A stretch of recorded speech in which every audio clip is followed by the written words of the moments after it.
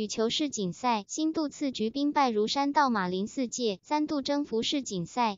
二零一八中国南京羽球世锦赛女单冠军战，由西班牙女将马林面对印度一姐新度，上演里约奥运争金戏码。马林花费四十五分钟，中场以二十一、十九、二十一、十击败对手，收下个人第三面世锦赛金牌。世界排名第八的马林与世界排名第三的新度过去交手十一次，马林以六胜五负稍占优势。两人从二零一六年里约奥运交战记录，则是新度三胜一负占上风。两人首局打得非常纠结，不断的来回拍树试探对手，不轻易攻击，等待对手失误。马林一度九十四落后，他很有耐心，追成十五平手。马林开始加速，率先逼出局末点。先持得点拿下首局，换边后，马林掌握进攻节奏，打得很有效率，搭配手法很快拉开比数，取得十一二绝对优势。